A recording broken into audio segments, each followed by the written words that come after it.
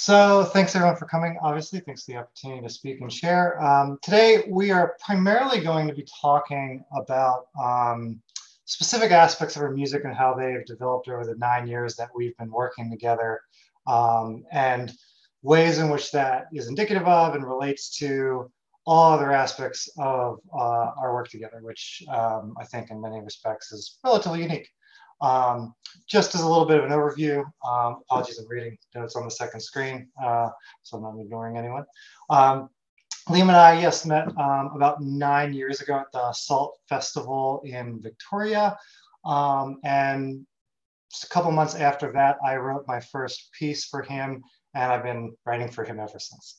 Um, at this point, it's kind of hard to count, which we'll get into a little bit, but I would say somewhere in the realm of I don't know, seven to 10 pieces that I've written for him, um, maybe an hour's worth of music or so, which for me is quite a bit of music. Um, uh, and maybe a little bit more uh, indicative. Um, I like to keep track when we talk about our work, we have the opportunity to present our work, uh, how many emails we've exchanged in that time. So uh, to date, uh, as of an hour ago, we have exchanged approximately 1,250 emails, which works out to about one every 2.6 days over the course of nine years, which is uh, rate that uh, we've been holding steady at for the last uh, couple of years. So just to say we have a very long-term, extensive and proactive dialogue together um, that the music reflects uh, in and of itself. So um, a little bit more specifically, and I'll pass it over to Liam. Um, today, we're basically going to be talking about um, development of certain embouchure specific techniques in our music. Um, and you'll note, like just as a, a default, I use uh, the first person plural, our music, um, because we've really developed these in tandem um, back and forth and sort of riff off each other. Um, and at this point, it's very hard to draw the line as to what either of us are responsible for, except for the fact that I know he can play the clarinet and I cannot. Um, so Liam is going to start introducing the first project we worked on and some of the directions that it sparked, and we'll take it from there. Yeah, so um, sort of just following up on what Ray said, um, our first project was actually like a, a, commission. I commissioned a pair of pieces from Ray. The first was a, a small uh, duo for piccolo and E flat clarinet. That's about four and a half, five minutes long. And then the second one was a more substantial solo uh, piece for E flat. And I, I, I don't quite remember, but I think the idea was uh, that they would sort of feed off each other in some way, and you know that we would get a dialogue going. And as Ray mentioned, we sort of worked together at this festival and uh, had a great dialogue there. So that that relationship, uh, that aspect of the relationship was sort of well established from the from the get go. Um, I'm just going to screen share the score. Um, here we go. So there, there there's a, a, couple elements. This is just an excerpt of the uh, E flat clarinet part um, from about a third of the way into the piece. Uh, so the, the, the piece, as Ray mentioned, was premiered, um, I guess, in 2013, and there were kind of a few elements coming out of the piece that were uh, really of interest to us in terms of um, finding ways to like nuance them and develop them in, in a really specific and interesting way. Uh, and the, the sort of the best example of this and one that ties into the embouchure work that you'll see in the remainder of the pieces is this idea of the, the bite um, which, which uh, you can see a couple examples of it in here. I've highlighted them in red. This is my annotated score. Um, the bite was was something that we hadn't really discussed during I think Ray's composition process. So it sort of arrived to me, um, and from that point, like there, there were some not not problems, but like issues in terms of the, the ways that, that it was used and certain. Uh, I guess connotations that the notation has that were really of interest. And so um, I think the first of these is that we found that it was like very highly contingent on what was around it in terms of the material. So you can see uh, just even within the first two bars of this example, two different uses of the bite. There's this kind of bite that's on its own with rests uh, on either side. And then there's a bite that follows uh, this kind of low E uh, glissando air sound type type type uh, material. Um, and what, what I found in, in performance was that like this yielded two completely different results. Um, because in the, in the latter case, when it was sort of abutted against materials, uh, it, it, it, it, it, took on the sort of transformative quality of uh, it, it, wasn't really clear where the bite sort of began and ended. It, it just kind of it, it became this kind of transformation out of the material into a different into a different type of thing. Um, which is which is some, somewhat at odds with the notation, which sort of implies that it's a, a very specific sound. Um, and so there was this kind of tension in the work in, in, in these moments, trying to find like the balance between the physical action and the uh, the sort of like notated sound. Um, I'll, I'll play just the, next. Oh, sorry, Ray. Yeah, so, sorry, I don't mean to jump in out of turn, but um, just to add a little bit, um, because I think it's worthwhile to emphasize um, my intention from the get go, kind of naively in my composer utopian fashion, um, was that the bite would be a relatively singular, isolated, and consistent sound. Um, and as Liam alluded to, depending on the context, um, depending on the speed, which is often very rap rapid and idealistic, um, that often was not the case. So the reason I just kind of wanted to go out of my way to underscore that is because um, I think what follows next, as we'll see in a bit, is where it really becomes interesting and is sort of uh, emblematic of how Liam and I approach things, where one or the other will try a thing or envision a thing that won't work the way we expect it, uh, often but not always coming from the composer side. Um, and then the other will sort of share their findings, and then we'll, rather than try to get rid of those, we'll sort of turn it into it's not a bug, it's a feature kind of approach where we seek to exploit uh, whatever possibilities are inherent in that. So anyway, I just wanted to footnote that for a bit, but please, Liam, go ahead. Yeah, I'm just going to play like a short excerpt, basically the the score that I was I was showing earlier. Um, yeah.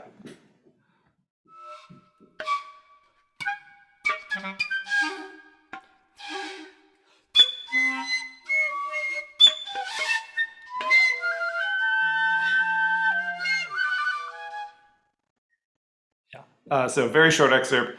Um, basically, the only other sort of point coming out of this, as as we're getting into the the next pieces, is that um, there was already a certain amount of like density and complexity to the material in in this piece, um, and that's something that I was sort of interested in exploring. And I'll pass it back to Ray for our next our next piece, uh, with that in mind.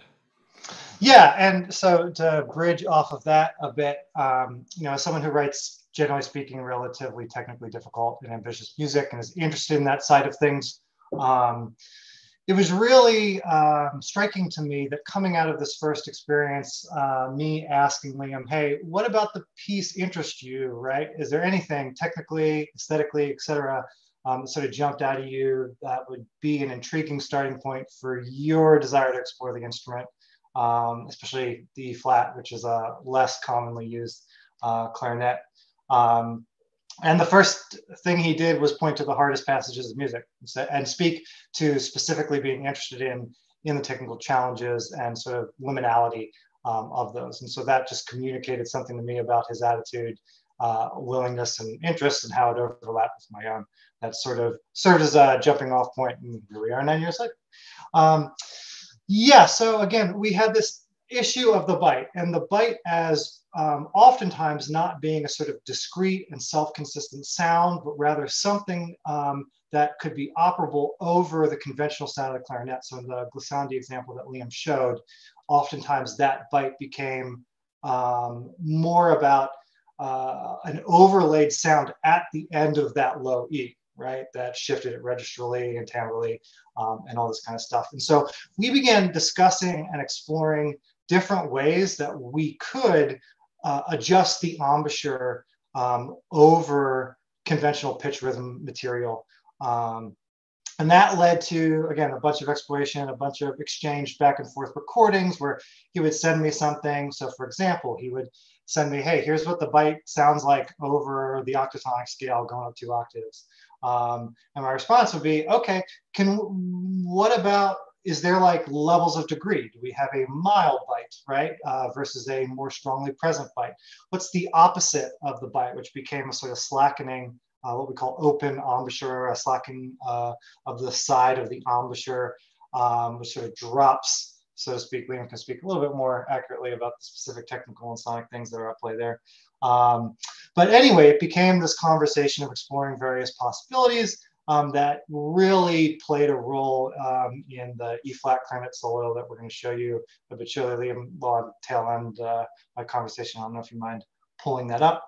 Um, the last point that I would make is, you know, um, these sort of technically and sonically disruptive uh, elements that we could that uh, can be layered on top of each other in a single instrument context was something that I had very mild precursors for, and this was sort of the right moment and the right prompt to sort of push me into um, exploring uh, this in much greater and more thorough detail than I had previously. Um, so yeah, I think we're going to play a clip from this solo E-flat clarinet piece uh, of mine, narratives, um, and then we'll take it from there. Yeah, and, and just to say, like the score will be up again with the video, and you'll see. Uh, typically, it's like below the the the uh, staff. There's uh, lines indicating like open, bite, and this this kind of thing. So just kind of watch out for that.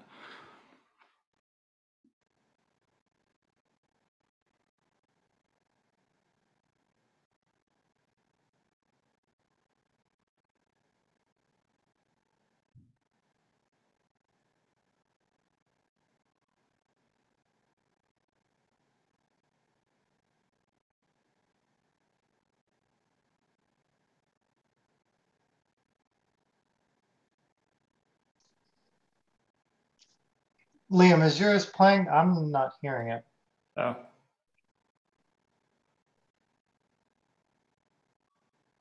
So you're not you're not hearing it? Yeah, let me let me try. Correct. Yeah, yeah. I don't okay. think we got the, uh, okay. the score video. Right. Hang on. It wouldn't be a Zoom conference without some. Yeah, without without some some glitch. Yeah. Okay. Here, let's try try this.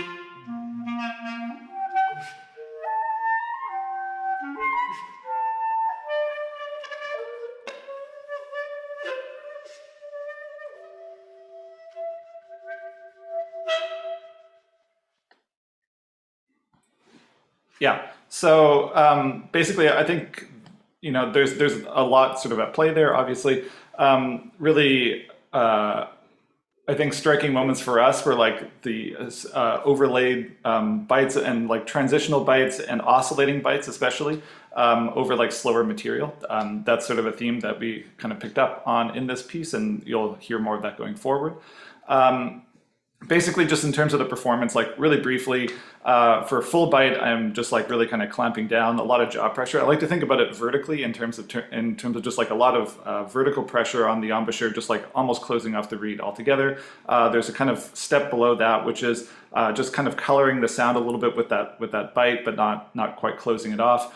Um, and then there's open, which is just kind of lowering the jaw to the point that the sound gets really airy and, and distorted. Um, pitches drop out, stuff like that, especially if, if we're working with the higher register. Uh, that's that's sort of all that I wanted to say. Oh, and then yeah, transitions between those states, and then there's a couple different oscillating bites. There's a kind of slower one, uh, which transitions between like the full open and the full bite, and then a really just like fast and kind of extreme one. Hmm. Yeah, I think uh, I think we'll move on to the next piece. Yeah. Yeah. yeah okay. Uh, yeah. So basically, after these two E flat pieces. Um, I was I was kind of tired. uh, yeah, we, we, took a break.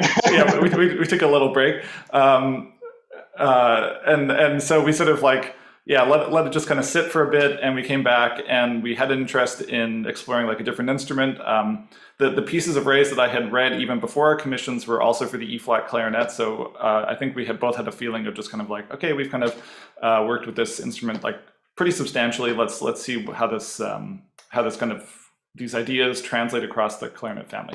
So we picked the bass clarinet as the next the next one, um, and then sort of developing these embouchure techniques even further. Uh, we had the idea of um, uh, expanding like so we had this kind of like vertical idea of different uh, levels of pressure on the aperture the mouthpiece and reed and so i also thought about like what if we kind of move the horizontal plane to a certain extent and had you know a different um, relationship between the embouchure and the mouthpiece and this was especially like works really well in bass clarinet because obviously there's a lot of room to work with uh, whereas the e flat there's it's really we're talking like tiny degrees um, and so we came up with this this this idea basically um, of, of uh, different embouchure uh, positions relative to the mouthpiece. So we have uh, four in total. We have, um, and they're, they're, numbered, you'll see in, in the score example coming up. Uh, we have, starting with number one, which is like almost no uh, mouthpiece and reed in the embouchure, and, and even just sort of like extending kind of like the embouchure outwards as you draw the instrument away. So like very diffuse sound.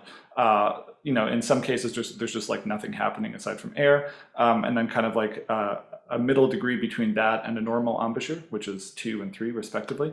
And then we have four, which is like taking not like a whole bunch of mouthpiece in, but I, I think of it as just kind of like pressing a little bit more against the mouthpiece. Uh, it really activates a lot of high harmonics, um, as probably a lot of you can just kind of get from from the description. Um, and and so like, like, playing with these in the same way that we were playing with the kind of vertical um, the vertical elements of, of changing the embouchure and seeing in ways that they that they would interact basically. So that that was sort of the parameters that we were working with um, for this for this next piece. Uh, Ray wrote, I guess, some very short, some very short little pieces. We had two uh, for bass clarinet, one that's about like three seconds long, and the other is about a minute long. Um, I think that's sort of all that I want to say about that for the time being, unless you want to add anything. No, if you want to play it, then I'll do my little spiel. Okay. Okay, I will try to get the sound this time. All right. Oops, sorry. So this is the longer of the bass clarinet pieces, about one minute long.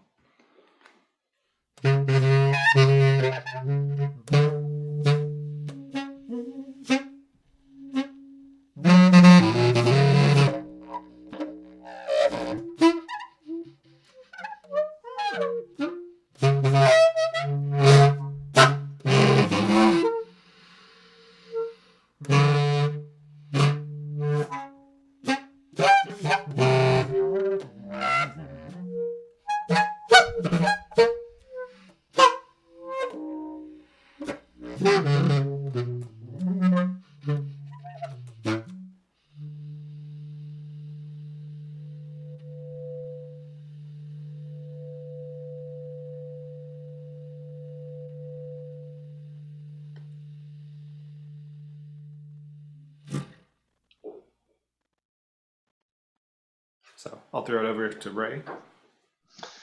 Yeah, so um, just a couple of things that I thought is worth noting there. So first and foremost, one of the things that um, is generally interesting to me about any technique that I'm approaching for any instrument is um, not basically the more fluidly um, I can use it, the more interesting it is to me, right? If it's something I can compose with, because otherwise I don't know what I as a composer am offering to the uh, situation. I mean, there are a lot of instrumentalists who can make a lot of cool sounds and they don't need me to do it. So um, if I'm trying to find uh, what is my role in this relationship, what's my contribution here, it really starts with um, playing with things. And so with that in mind, um, one of the things that really emerged very quickly for me with these embouchure materials in general, and specifically with this new development that we introduced um, in the bass clarinet pieces of the horizontal mouthpiece position movement, um, was the ability to layer both of these things, right?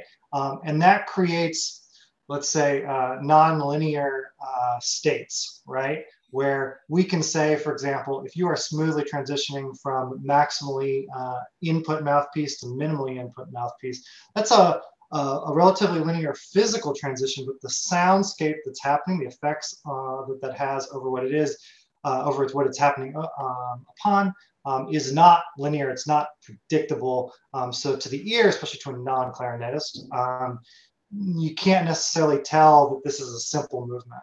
Um, so it creates a lot of accessibility to radically different um, timbre states in very quick succession. And then if we layer that upon these, uh, as Liam termed or referred to as vertical um, embouchure adjustments of bite, uh, of open, um, you can get some very interesting combinations, sometimes that um, uh, supplement each other, that work well together. So for example, a one position uh, mouthpiece or a two position mouthpiece, right, is going to have a just very generically a, a more muffled uh, tone, sort of the sul tasto of the clarinet in a certain kind of funny way, as my composer brain puts it. Um, but and if I combine that with uh, the open embouchure, the vertical adjustment of open embouchure, those things relatively work together, and it's not perfect, but they're complementary in some ways. But if I um, add bite, then I'm getting something that's trying to push uh, the instrumental sound to the high register in combination with something that's sort of dropping the floor out a little bit. And that's also a very complicated um, airflow situation that itself creates um, interesting physical circumstances that can lead to all kinds of good stuff, all kinds of interesting stuff.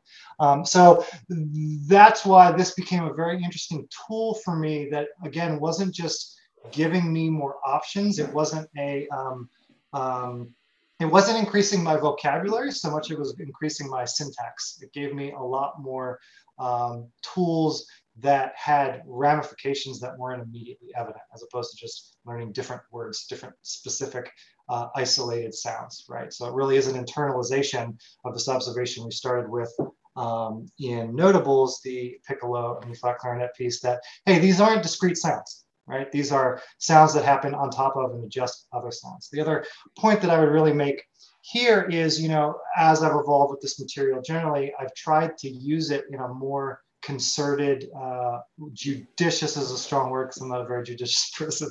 Uh, I like a lot, um, but um, in a more thoughtful manner. Um, and so one of the uh, ways in which I found to do that is to basically slow down the rate of change in the on the staff conventional pitch rhythm material. So we can have these long tones, these long phrases, um, and over them have a relatively rapid pace of timbre change. Um, a different manifestation of the same desire is an increasing use of repetition of mostly pitch uh, and registral elements, sometimes rhythmic elements as well.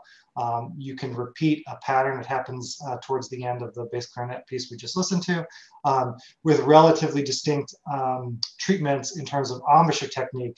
And so it creates this sense of fracturing, of sort of quasi memory. Oh, I think I've heard that before, but it's not a perfect repetition. And not just perfect for the listener, but even uh, for Liam as uh, uh, incredible uh, musician as Liam is, um, there is some element of uniqueness in each passage. And actually, we're going to lean into that in one of the following examples.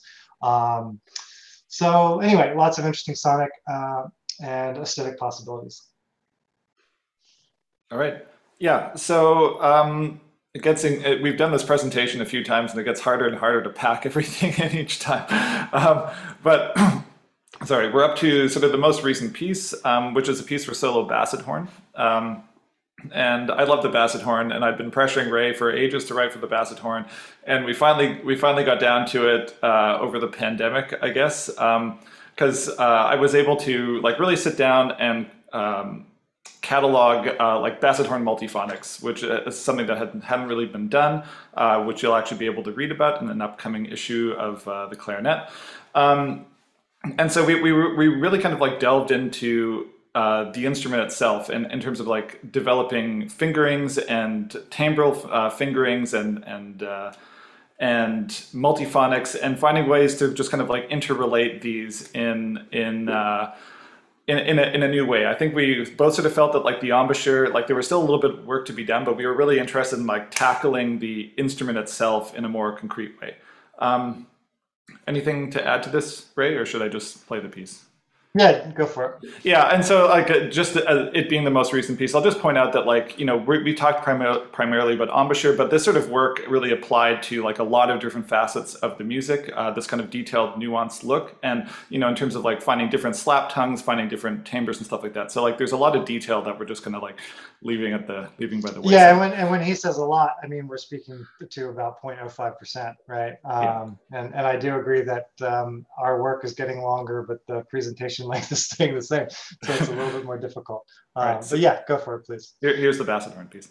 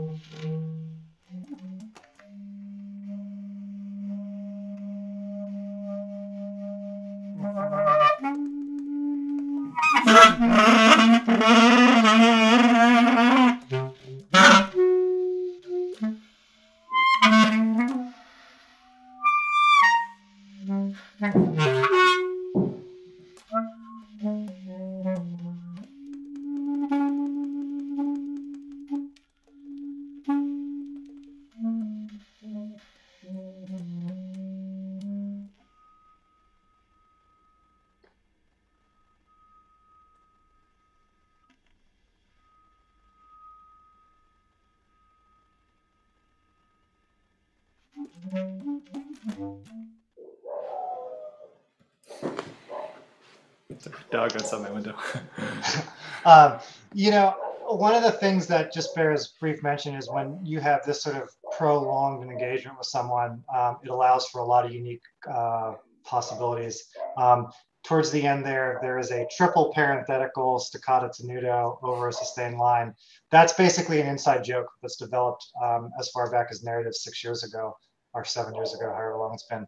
Um, and there's a lot of that in there. Uh, a lot of like, oh, you did this thing and you did it better than I thought you could do. So I'm going to push you a little bit and see, can you do this or whatever.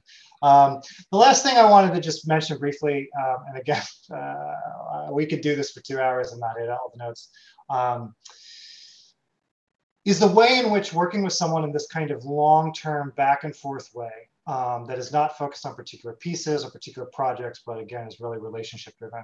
Um, it allows, it just allows for things that otherwise couldn't exist, couldn't happen. Um, and as a result of that, that includes us both entering territory that individually we're hesitant in. So one of the things that I try to do as someone who writes very difficult music is still make sure that I'm not overstepping the bounds where something is blatantly impossible. Um, and Liam uh, sort of has a corollary sense of hesitancy to that, just overstepping um, on a personal level in terms of what we are individually interested in. Um, but for all kinds of reasons that we can't really get into with the time constraint, um, we've done that. So this little example is from uh, a, a, recent uh, B-flat clarinet project, which is probably the lengthiest, certainly in terms of time, project we've ever undertaken. Um, and this is just a little excerpt, but this is one of the most, if not the most technically ambitious things I've written for him. Um, and it just is sort of a, let's say, look to the future uh, of where our work might go.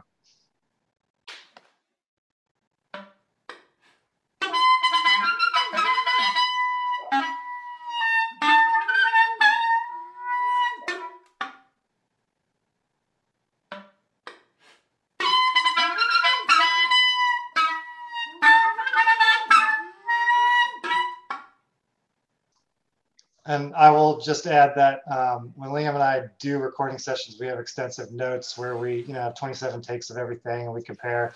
Uh, and we've never been able to pick a preferred take out of those two. So when we share them, we just share both of them. um, so anyway, I know we're up against it, um, but if we have time for a question or a comment, um, I would certainly love to entertain it insofar as we're capable of doing so. Um, but otherwise, thank you uh, for yeah. listening to our stuff. Yeah, thanks. Wow. It's kind of remarkable taking a look at the score. And I've seen so many different um, types of notation um, this weekend that I've never been exposed to. And I'm sure many other people are are just looking at that thinking, how did you how did you think to alter the embouchure even further than when many other composers have done um, with regards to just biting and loosening? What was how did you come to that um, conclusion as to how you wanted to portray the music that you were composing? Well, I think the best way that I would put it is that we just condensed nine years of time and conversation in the span of 25, 28 minutes. You know what I mean? So, so by which I, I actually mean to communicate, I came to it slowly. It's something I've always been interested in, but I also am reticent to just adopt other people's tools because those tools are foreign to me. Um, and I feel that I can't sort of speak to them in any way that I find personally relevant and feels inauthentic to me just personally. Uh, as someone who's kind of uh, generally inclined to existential woe, that's not uh, a, a, step in the right direction. But having someone like Liam that I can have this back and forth dialogue with, who I know is engaged with um, this material with maximum fidelity and intensity. I mean, the the we've we've had thousands of words of emails exchanged over the difference between a double parenthetical staccato tenuto and a mono parenthetical staccato tenuto and how does that relate to the intrinsic articulative mechanics when you slur something like that's just stuff we like to talk about. You know, when I catch up with Liam, I don't know what's going on with his life. He doesn't know what's going on with my life. But we'll talk for that stuff for two hours. Um, so, so the how I arrived at that is is really through this partnership. And honestly, if I hadn't begun this work with Liam, I don't know how much longer I would have sat at the threshold of that without really crossing into it. So this was um, the relationship. The music has really been a catalyst to do that, 100%. Oh, that's great. Uh, well, if no one else has any questions, um, or if you think of something during the next session, feel free to drop them in the chat. Uh, I've really enjoyed the session. We're going to um, turn it over to our next presenter, which is both a performance and um, a discussion lecture. So um, I hope you will enjoy that as well. Thank you guys both. Thank you so much. Thank you.